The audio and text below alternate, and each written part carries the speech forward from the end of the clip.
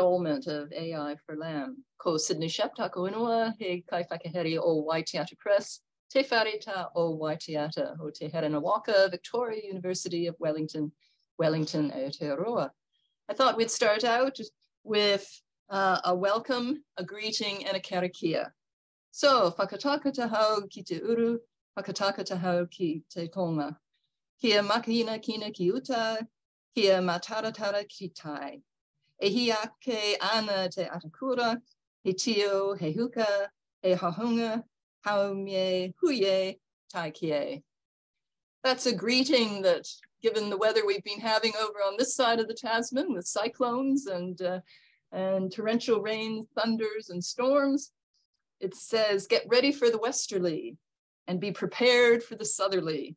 It will be icy cold inland and icy cold on the shore. The scarlet dawn rises over ice, snow, and frost. Let us face it together. So, around the warm campfire of AI for LAM, welcome one and all. Tena koto, tena koto, tena koto katoa. Kia ora. And I would like to back that up, Sydney from Australia. Wominjeka, everybody. I'd like to acknowledge the people of the Woiwurrung and Boonwurrung language groups of the Eastern Kulin Nations on where I sit today. I respectfully acknowledge their ancestors and elders, past, present, and emerging. And I'd like to acknowledge the custodians on where everybody sits today and welcome you all. Now, thank you very much. Uh, this session is being recorded uh, for the benefit of everybody that couldn't make it today. We've had a bumper attendance, so it's great to have you all here. Uh, and also, I invite you all to use the chat function to introduce yourselves and your interest in the topic for today and ask any questions.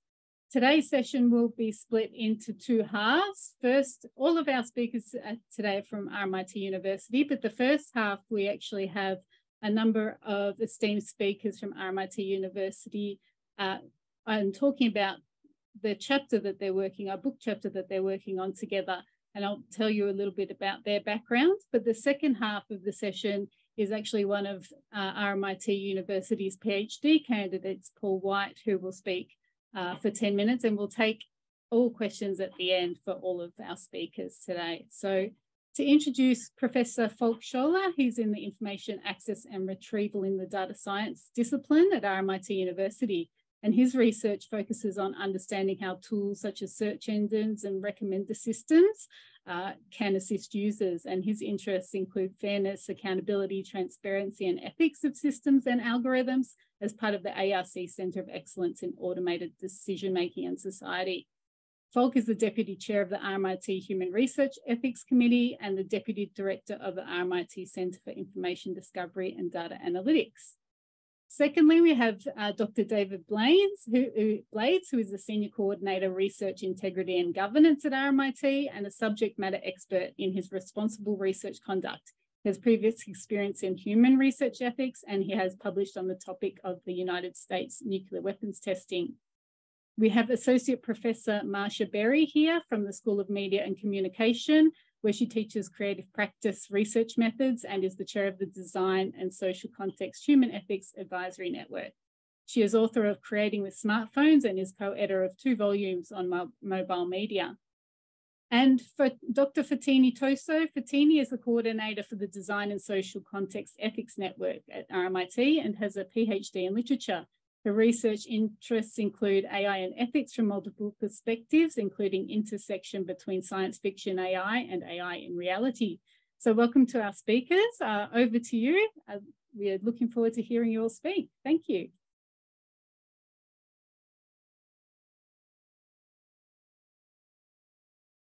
Thank you so much, Katherine, Alexis, Ingrid, Sydney. We really, really appreciate the opportunity. Um, I'm David. I'll briefly introduce everyone today. Um, obviously, uh, you just heard about Falk Marsha, uh, Fotini, and myself, and of course, we'll have Paul um, to speak later as well.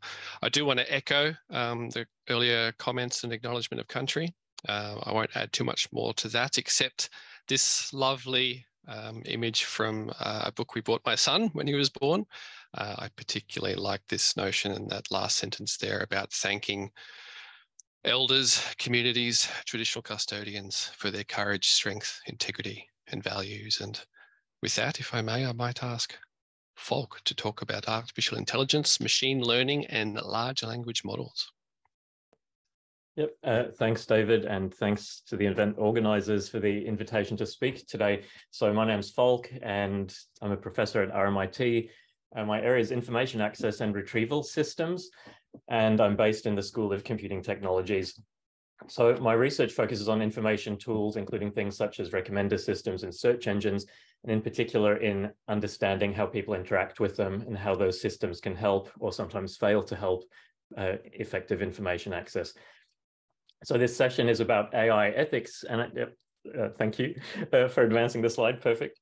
Um, and I thought it might be useful to just start with some definitions to set the scene. So at the highest level, um, there's a lot of talk um, all over the place, of course, about AI or artificial intelligence. So this is a branch of computer science that focuses on creating intelligent machines. And the aim is to get those intelligent machines to perform tasks that we would normally say require human intelligence. So that might include things like visual perception, speech recognition, decision making, and language translation.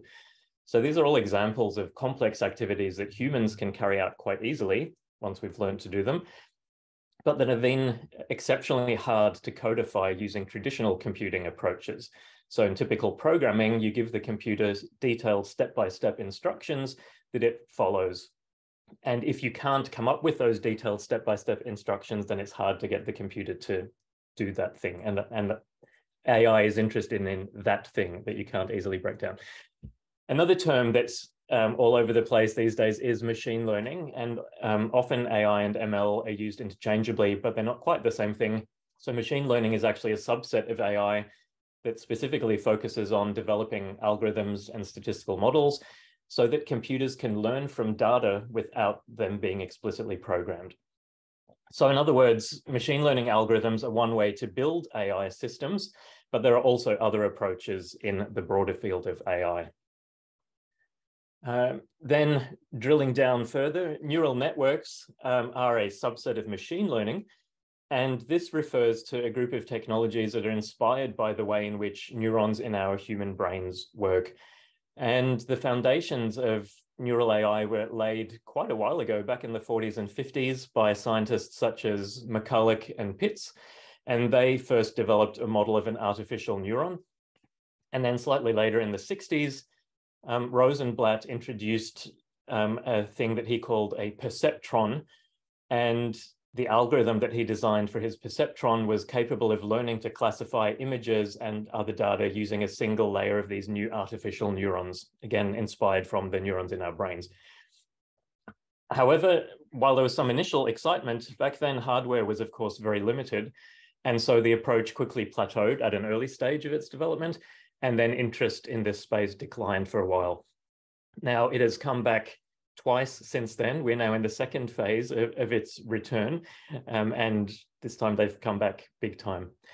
A fourth concept I just want to quickly introduce, and that also gets raised in this space, is language models. So this is another type of AI um, modeling that focuses specifically on predicting the likelihood of words or phrases in a particular language. So these models are designed to understand the context and meaning of natural language text and to generate coherent and relevant responses to a user's input. So the way these language models work is that they're trained on large amounts of text, such as books or news articles, and then they use statistical methods to identify patterns and relationships. So this is a task that we humans are naturally pretty good at. So for example, if you see the string of words, a chain is only as strong as its weakest and then you're asked to predict what the next word would be, uh, probably a lot of people would come up with link. And so you'd hope that a language model, after it's been trained on an appropriate corpus of text, would be able to also recommend that link is probably uh, a useful word to add in this context. But note that these language models are probabilistic in nature. So it's not saying that it will always be the word link. Other words would also fit there potentially, but they will in a well-trained model, one would hope that they have lower probabilities than link. So the exciting thing that has happened recently is we've moved on to this large language models uh, paradigm. And these have come around through a range of developments. Firstly, um, we now have more sophisticated machine learning algorithms, and you'll hear about deep learning all over the place. Uh, but these are, in essence, neural networks. So they're building on those foundations from the 40s, 50s, and 60s, but just uh, putting them together in new and innovative ways. We have a huge increase in computing power. So also we can build much larger um, networks of neurons now. And thirdly, and really importantly, we now have huge data sets. So this is largely thanks to the internet and the digitization of everything. So in the past, um, if you wanted to train any of these AI techniques, um, you'd have quite a limited range of things, right? You might have a few electronic versions of books or an archive of newspaper articles or something. But these days, we just have ridiculous quantities of stuff. And so ChatGPT is the currently hugely popular instantiation of these large language models. Um, it is large, literally, so it has 175 billion parameters. Um, and it has been trained on a huge amount of text, so 570 gigabytes of web pages, books, and other sources. There's another important aspect to these LLM, LLMs, though, and ChatGPT in particular, and that is that they also involve some human training. So the initial learning algorithm updates the, the representation that's stored in these neurons in these complex networks, but humans are required to help the algorithm and in particular, there's several phases. So first, um, people generated example prompts. So these were the kinds of questions that the ChatGPT system might be asked um, by users. Then other people generated possible answers to these prompts. So what is a good response? And then still another set of people were asked to generate preference judgments. So if there's a number of responses, to a particular prompt, which one is the best one that the system should aim towards. So that's all good. That was to en enable the system to do its conversational interaction. But there's also another human step, and that is based on the notion that these systems should ideally not create negative output. So you may remember from a few years ago, Microsoft released an early chatbot uh, on Twitter and it quickly learned from users and it became quite nasty and started issuing racist and inflammatory statements. So it was taken down.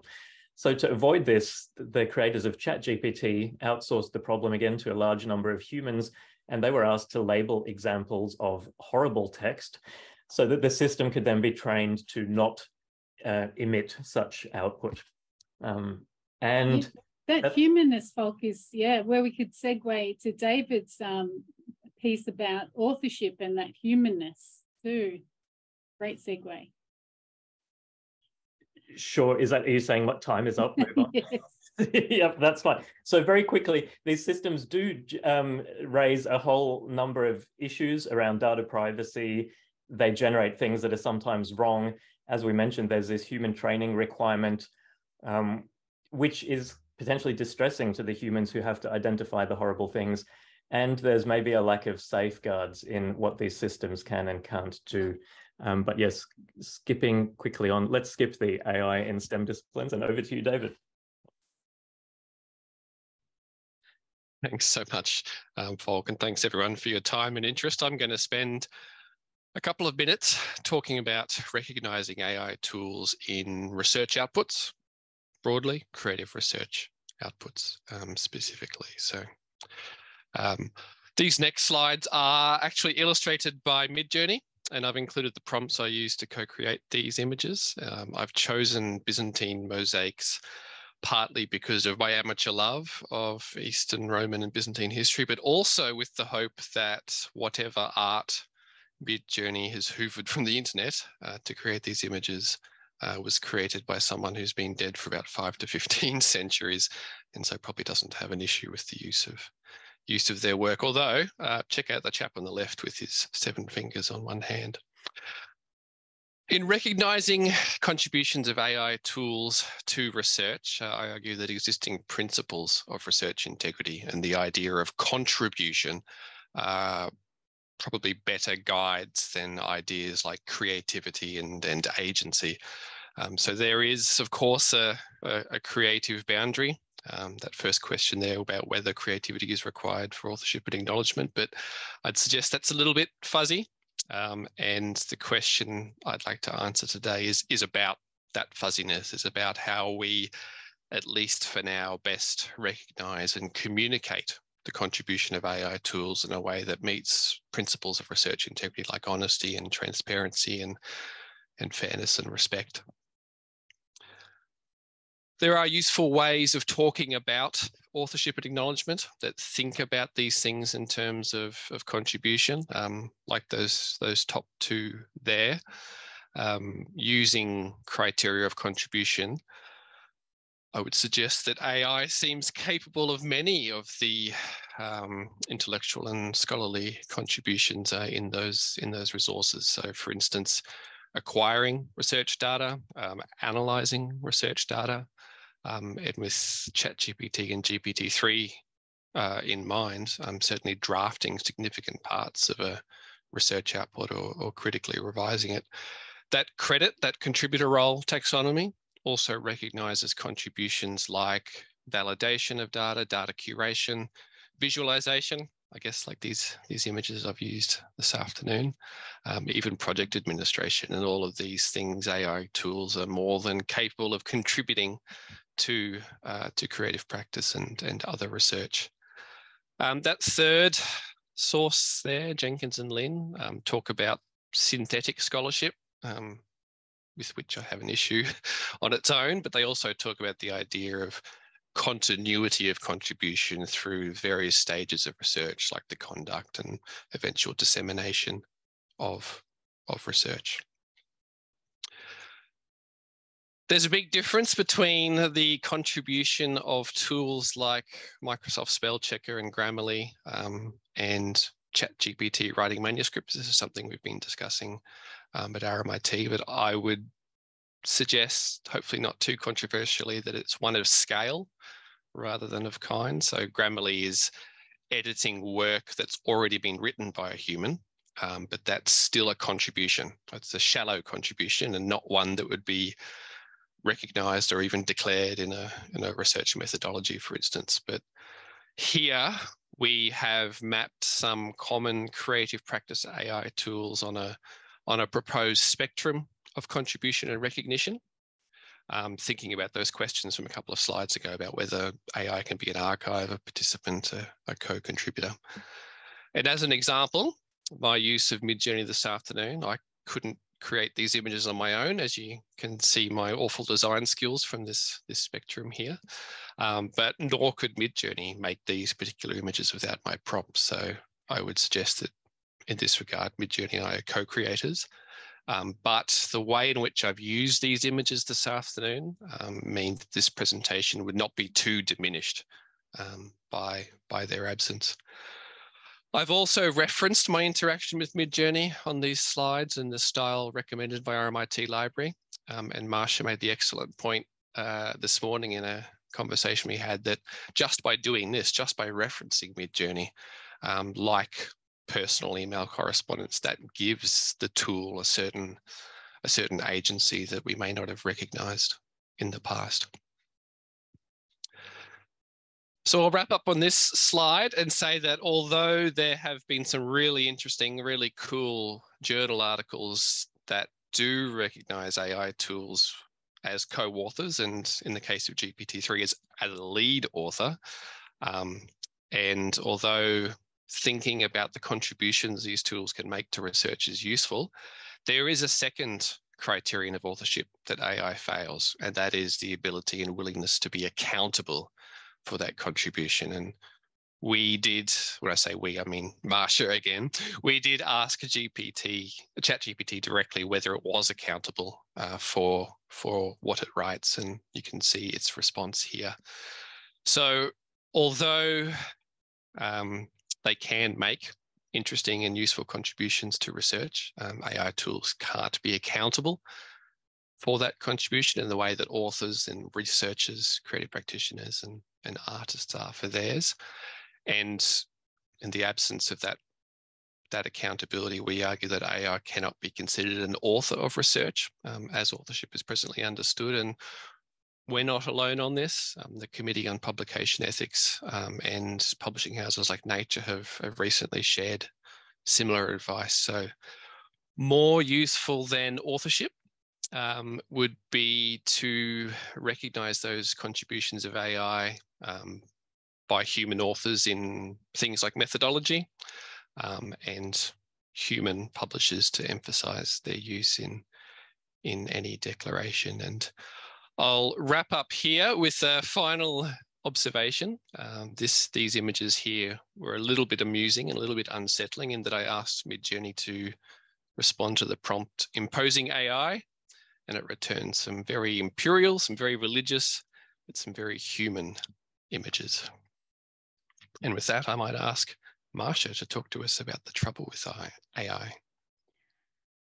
Thank you, David. Um, uh, yeah, I'll um, just continue on from that sort of idea of um, authorship and so forth and what is AI in the creative practice space um, how people could work with it. The idea of trouble, you know, I've sort of um, took shamelessly from Donna Haraway of sitting with the trouble, with the problem of, something. Um, in that, you know, I'm not necessarily seeking to find answers or applications, merely um, wanting to sort of unpack the problem, you know, the potential troubles to look at them and see where they might go in future. So what's the trouble with AI? Um, we came up with a hypothetical scenario to think about the implications of AI for institutional ethics um, practices and procedures. So, and we've set up this hypothetical project where we've got a PhD candidate, you know, just for argument's sake, the PhD candidate is one of my students who's a creative writer use, who wants to write an interactive graphic novel designed for smartphones for their PhD. And they want to use an AI system.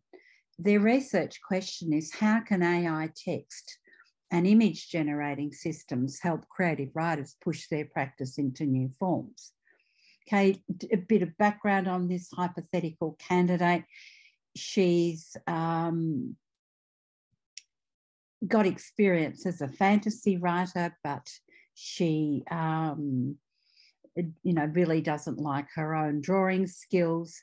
She's thought about working with someone else, but she wants to test her ideas first. So she thought um, she might use something like Midjourney. The other student um, for argument's sake, one of Falk's, working in the area of AI, researching um, novel deep learning based language models to generate text for an interactive graphic novel. Their research questions are how can AI learn to generate text and images with minimal to no human input? What is required to achieve this? The students wanted to, um, the students, you know, are working together. The creative writer is using the um, algorithms, um, the application created by the um, computer science student, and they're writing storylines. Um, as part of their PhD, they want to conduct some empirical research. You know, this is particularly important for the computer scientist. So they want to be able to spot and see. My, um, I might add the writer too that this thought experiment rec- replicates work that's um, already been done with that um, fusion of art and science research coming together. But anyway, they want to see if readers can spot the storylines that are written solely by the AI, written with input for the AI, and stories written solely by the creative writer um, they decide they're going to crowdsource participants to judge the authorship situation. Um, they've also read that um, in one study, it was not until um, text, this was a poetry study, it was not until the text was put into a PDF um, visual format that um, the, they started to get more accurate results. So the text is um, generated as um, as um, JPEGs, as images, so that they're not easily searchable through Google. So they decide they want to crowdsource participants to judge the authorship situation. They present the participants with a series of storylines and ask them to indicate which of the authoring categories each storyline belongs to. Um, now, in terms of applying for ethics, they need to apply to do this survey. The ethics um, application process is really quite straightforward because as long as the researchers um, disclose fully to the participants that they'll be asked to judge storylines, um, some of which will be written by an AI, some by a human, and some um, edited by the human, tweaked by the human. There's, um, in terms of permission, there's no um, deception going on. So it's a straightforward, low risk ethics application. Uh, from our point of view, you know, does the story end there? And at this point, I'll hand over to Fotini to pick up on um, the ethics framework within Australia. Thanks, Marsha. Uh, yes, so just to pick, picking up on that, uh, next slide, please, David. Um, that application from our hypothetical students was, as Marsha said, very straightforward. It was a survey, it was anonymous, it was crowdsourced, let's say through social media and LinkedIn. Um, and just on the screen here, I've just got the definition from the national statement uh, about what is human research. And that project we just described fits that category because the human participants are those that are crowdsourced to look at the text that's been produced and see which one is from the AI, from the creative writer, etc., and see if they can be picked out. But does it end there? Um, in the human application, uh, we you know, they, they, it's a survey, it would be anonymous, it would be online. They could have thousands of responses uh, and, and create quite a good data source to then analyze and see um, the results and to see whether the, the people could pick out the AI versus the, the human writer, so to speak. Um, next slide, David. The national statement, though, does uh, outline these four values research, merit, and integrity, justice, beneficence, respect for human beings. And at the moment, it only obviously uh, refers to human participants. The question is, though, does it end there? If our students, for example, did not crowdsource, if they didn't want to test their AI, they didn't want to test their graphic novel with human participants uh, to see who can spot the AI versus the human, would they need ethics? The short answer would be currently no, they would not. Uh, if they're just creating the graphic novel, the computer scientist is trying to push the, the, the limits of that AI to see how much human input is required, and the creative writer is using their own practice as, as their research. So they may not necessarily need uh, human research ethics approval to conduct that project. But there is a lot of concern at the moment that you know, if AI is being used as a contributor, it could potentially be used as a participant um, and could provide data that potentially is misinformation or, or, it could create things that then take on a life of their own. Uh, what do we need to do in terms of these four values within the national statement in the future? Do we need to potentially think about expanding these to include the beneficence uh, justice, respect for human beings more broadly than just those participating in the research project, just to counter on what AI is capable of, um, especially in terms of uh, not necessarily writing text as those two students were doing, but in the, you know, ChatGPT, for example, in that conversation that's going to be happening uh, where people are testing, the system is then learning from human participants. Does that have, does that have a place to consider uh, when we're thinking about ethics and human research ethics. For the moment, all the input is coming from human beings. Does that need to be acknowledged? Does that need to be uh, assessed in some way in, at an institutional level where you know that participation, however indirectly, um, needs to be considered in, in, terms of a human research ethics application. At the moment, of course, the national statement does not allow for that, um, but is it something that needs to be done in the future? Next slide, David. I think that's it from me. So I'll hand back to David. That's all from us. Thank you so much, Katherine. Um, I might hand it to you or to Paul, but really, really appreciate um, everyone's time and attention. Thank you, everybody. Yes, do stick around. We'll, there'll be plenty of questions in the chat. And next, I'll pass to Paul White, who's a PhD candidate, and he's looking at authorship of generative text and using data traces and narrative. So look forward to hearing from you, Paul. Thank you. Cool. I'll just um, share my screen. Okay, how's that looking? Yep, can we see the slides? No, try again. Mm, share the wrong screen this time. Screen one, screen two, screen three, that's probably the one. How's that? No luck. Oh, wait, there we go. There's yeah. a bit of delay. Here we go. You can see it. Okay, can we see that now? Is he still? Oh, good. Not moving? I've got a slideshow, swap screens. Is it full screen for you? No, but we can see this first slide. All right. I'll just go through from here. Um, what I'm looking at is, so I'm um, PhD candidate. Um, I've been around for about six, my seventh year, I think. So when I started, my big issue looking at generative text was how can I get a system that is capable of putting together two coherent sentences um, back in 2016, which isn't so much the problem now. Technology's moved on.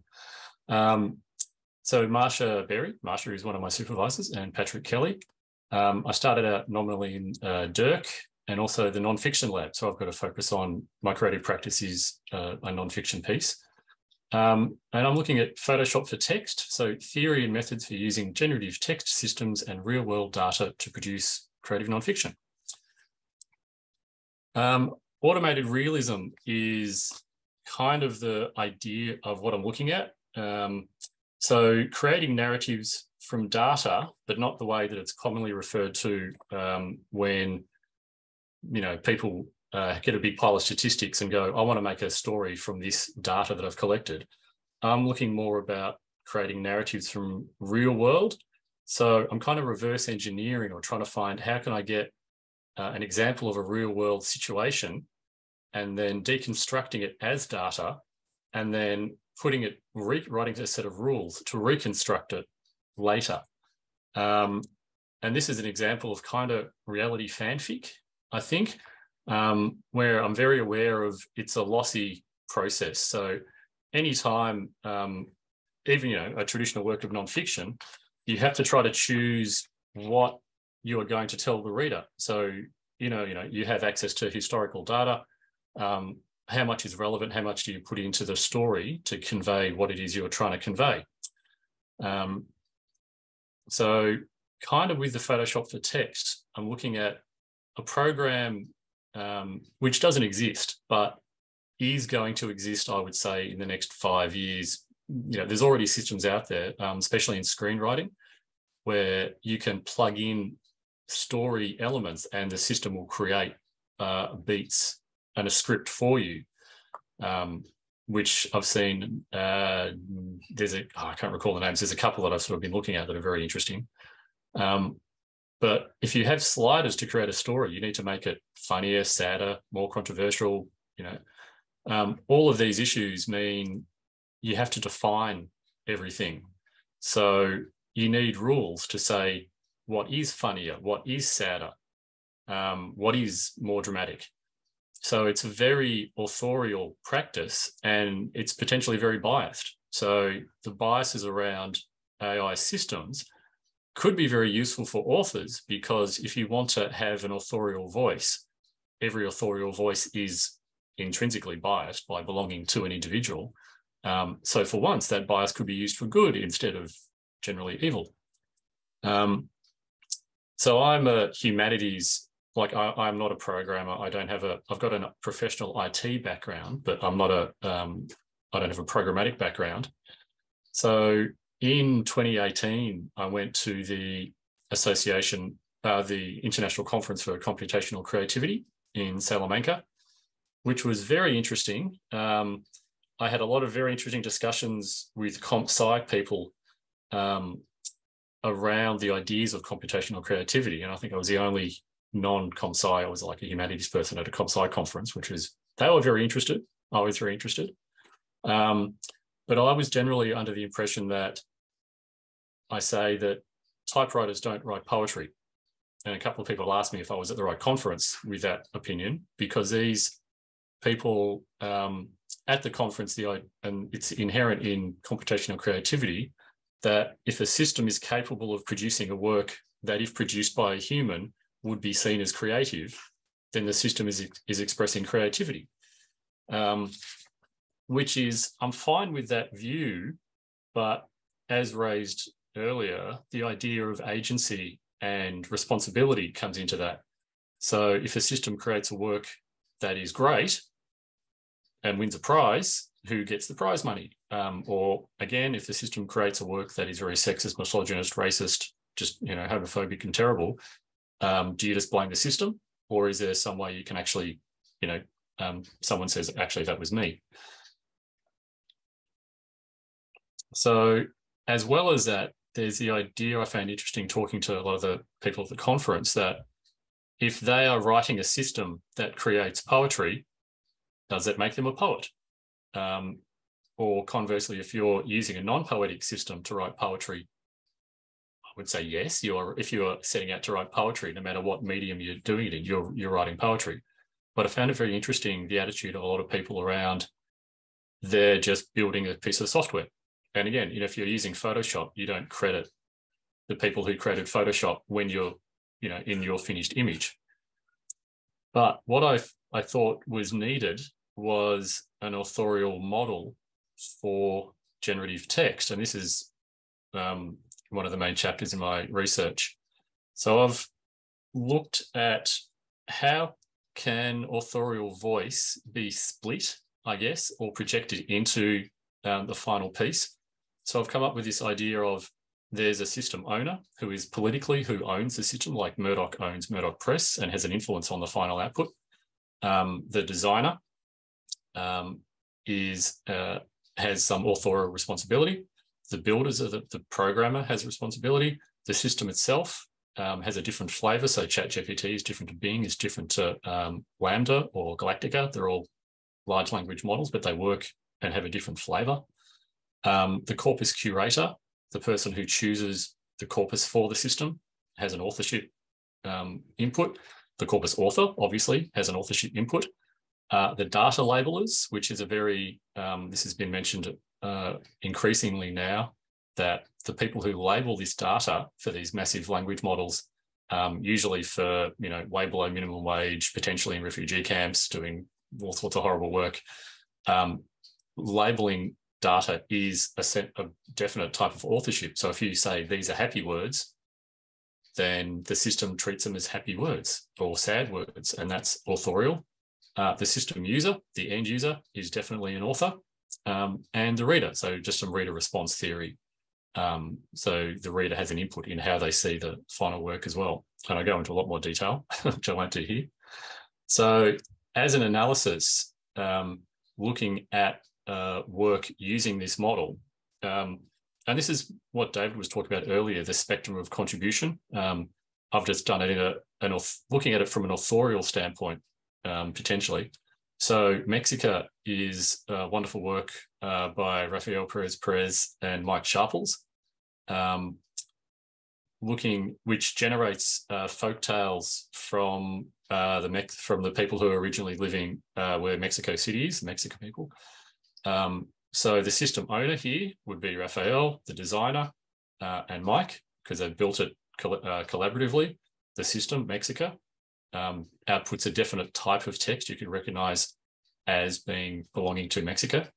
Uh, the curator was Rafael and Mike. The author, um, they've used folk tales, but they, I guess, um, Rafael and Mike have sort of uh, formed the tales to fit into their system. They use the system themselves, and the reader is public.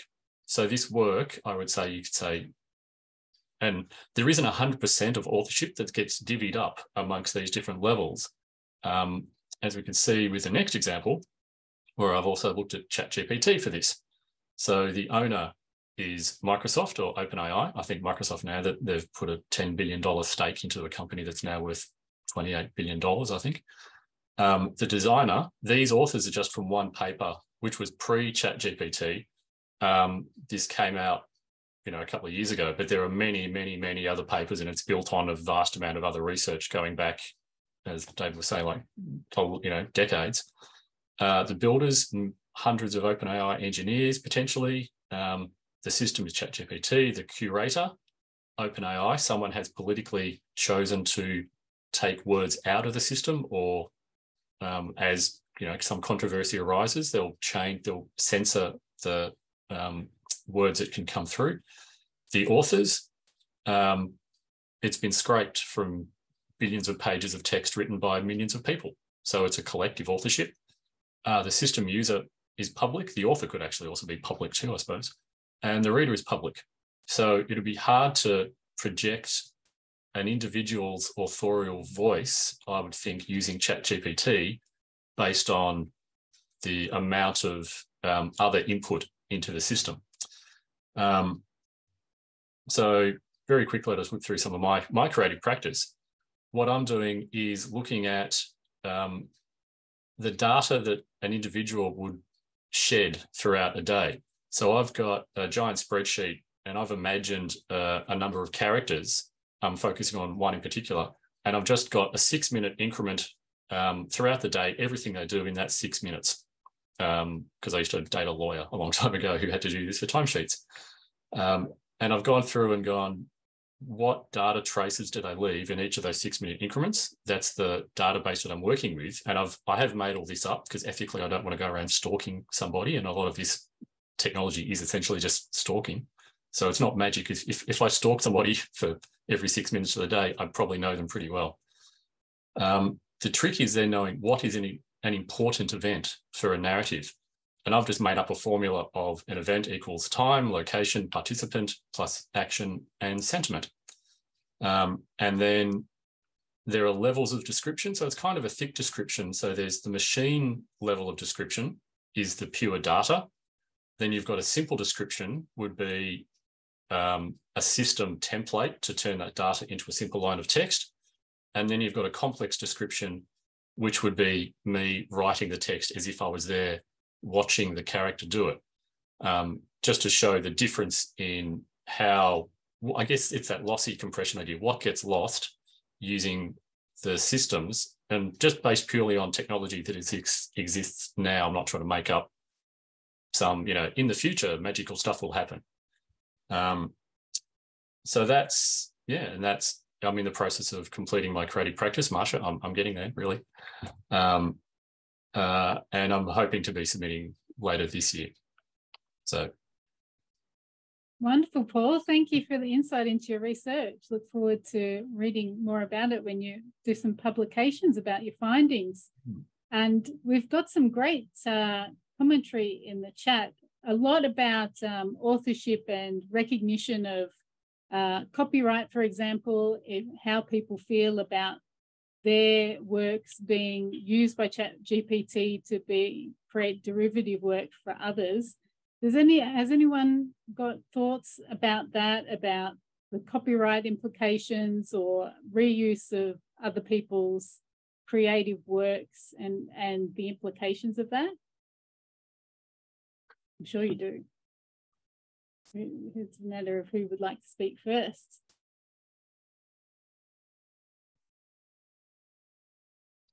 Go, Falk. Sure. Uh, well, I guess, and as I think someone pointed out in the chat, right, this is currently being tested in some US courts. So I guess we'll all be enlightened soon, at, at, least in terms of what one US state believes the, the case to be. But it just seems very complicated and unclear right now, is what, what I would suggest. Well, if I could add a little filter or twist upon that, um, you know, we're we're living in the global south uh, in many ways compared to the uh, American court system. Um, we're more attuned to our tūrangawaewae, the places that we stand. So issues around cultural appropriation um, and the ways in which uh, open science, open access, open data uh, sort of erases the notion of indigeneity and um, I guess dismisses the nature of data colonization in an imperialist kind of structures that we've had to deal with over centuries, 15 to 20 uh, centuries, millennia, even before then. So I guess my question is, um, in the world that we live in, what are the issues around cultural appropriation that are being uh, discussed, challenged, um, or ignored in some of these bigger discussions that headline the usual ChatGPT and other generative art, generative text discussions. So any one of you, cultural appropriation in this space, give it a go. Um, I was uh, uh, Cole Baker, who's a great researcher um, in this field. He is he's got an interest in the South Pacific um, in a lot of the way it's being navigated historically. And he was working with some people in Fiji and was asking ChatGPT around the names for the winds of the, from different directions. And it got one right and eight wrong. So he was just making them up. So unless you have a very deep knowledge of what those things are called, you know, it's it's a classic thing of um, ChatGPT is just going to make up stuff because it's just a very large autocomplete system. Um, but even with a better system, the training data then, you know, the permission has a permission been given to scrape all this data. Um, it, I can see you'd be torn between wanting to be make sure that information is accurate, but without working with the stakeholders, um, in a you know respectful way, it's going to be very problematic. And I'll just point out Ingrid's comment in the chat about Te Hiku Media has had to deal head on with this issue of appropriation of cultural data. And yet they've got a very interesting approach of uh, how it's actually accelerated their research um, because it's offered a language model that they can then test upon their corpus and test to see what works or doesn't. So the affordances as well as the challenges are definitely up with the play. So I, I'd just add to that, as Paul, I think quite rightly pointed out, ChatGPT as a standalone tool has issues in that it can generate very authoritative sounding answers that may or may not be actually correct. However, we're already seeing uh, the next sort of iteration of this, like Microsoft adding ChatGPT to its Bing search engine. So now that goes off, does a web search, then generates an answer based on that and gives you citations. So some of these issues are likely going to be similar to those that have already been around with the search engines, right? Do they have rights to the data? They're now in some ways post-processing all of that data. Previously, they said, well, it's not, we're not doing anything with it. We're just indexing it and then giving you the access to it. So yeah, it's Yep, lots of new issues arising somewhere in space. So um, one thing which is quite relevant that I, I just saw in the last week, um, I just, I just put a link to in the chat. There's a, the Braggoscope, which is the Melvyn Bragg. Um, he's got a radio show on BBC, has for 25 years called In Our Time, and someone has uh, jury rigged a way that GPT can look at all the episode descriptions and has gone through and um, totally like on their own, nothing to do with the BBC, but it's catalogued over a thousand episodes with Dewey Decimal um, numbering. So everything is indexed, all the, you know, it's probably the best example of the use of GPT that I've seen um, anyone do so far because it's limiting the data to something that exists and not trying to make up. And even his, the person who's done it has said it's still is a little bit fuzzy around the edges. But I think when you can limit the um, possibility of it making stuff up, it's got its most potential. But if you just yeah let it go and do its own thing, then it's very very risky. And there is that's a question. A reminder that we're sort of in this world of AI for LAM. And I'm sure Katherine is going here, libraries, archives, museums, and records. And some of the ways in which our colleagues are harnessing AI are simply the pragmatics of what can you do to render access better for your user communities. So that's a great example, Paul. Thanks. But over to Katherine.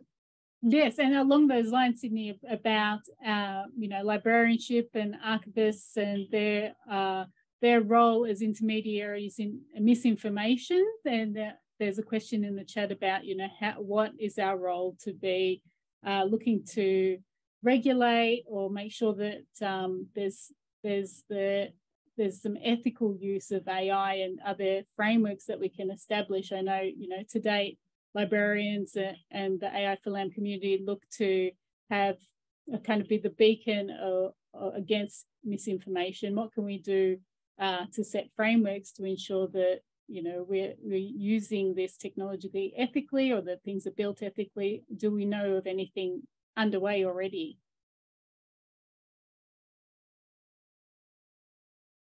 And maybe there isn't. Um, maybe there's work that we're unaware of.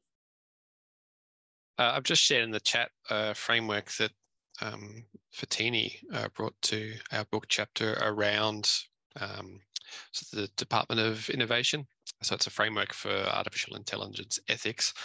Not quite that legal principle that I think um, Emma had in mind, but probably a good starting point. But I would hazard that issues of misinformation are a bit broader than than AI, and the solutions might be the same, or there may be a technical solution that Falk might be able to speak to. But embodying the principles of responsible research and the stuff that we do, including um, with AI, is a first step.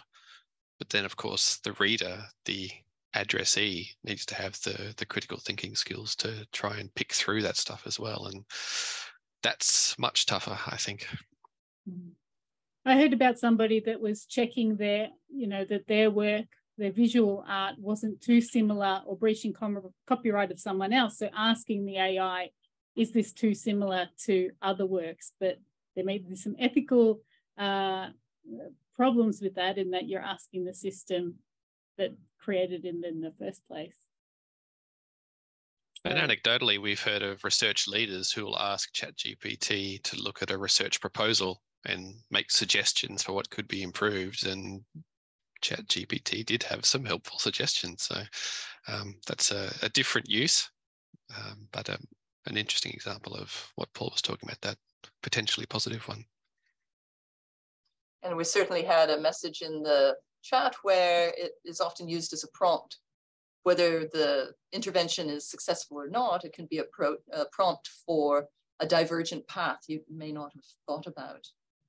But I wonder if we could lay on the table a little more and perhaps in the time remaining, think about this notion of trust, uh, which is, you know, very complex, quite problematic. And in New Zealand, for example, it's the basis upon which our Department of Internal Affairs, which administers our National Library of New Zealand and Archives New Zealand. And, and it becomes a concept that uh, suggests in an ideal world uh, a kind of commensurability between an organization and its panoply of users. But trust is a pretty loaded term. So, in your experience, uh, panel, I'm just wondering, you know, have you been able to give some shape, some form, some teeth to this notion of trust, and what does it entail in your research experience?